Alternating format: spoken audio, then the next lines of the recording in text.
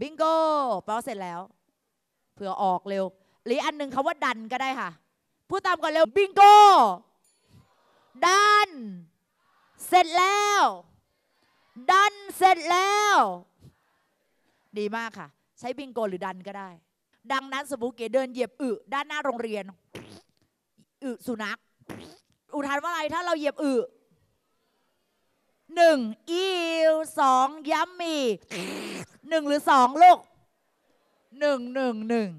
ใช้เอก็ได้อีวหันหน้าหาเพื่อนแล้วพูดแล้วค่ะอีวหยอกแปลว่าอีค่ะ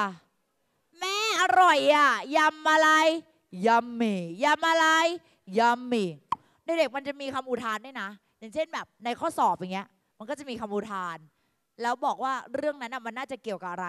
ต่อไปค่ะ ขออีกอันหนึ่งจุ๊บจุ๊บภาษาอังกฤษใช้เขาอะไร x อะไรใครบอกได้เร็ว เก่งจังเลย เธอรู้ไหมทำไมต้อง xo ลูกคนเก่ง เพราะ x เหมือนกันกอดกัน o เหมือนเลยดูปากคุณเก๋ค่ะทำอะไรลูกหนึ่งจูบสองดูดซ่วมเลือกสิลูก จูบ เก่งมากแปลว่าจุบจุบค่ะ อย่าสลับตำแหน่งเลยนะคะ มา O X O X ออกออกไม่ได้นะคะ คุณพี่จะแบบ O X ออกวัวสองตัวครับออกออกไม่ได้ ต่อไปค่ะ แม่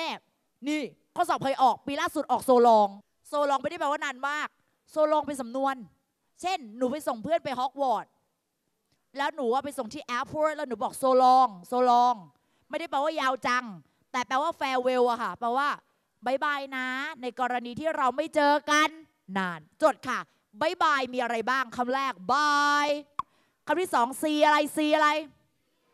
เก่งมาก โรงเรียนชั้นนำมีสระว่ายน้ำชอบเดินเล่นที่ห้องคุณนวพัฒน์ปังมาก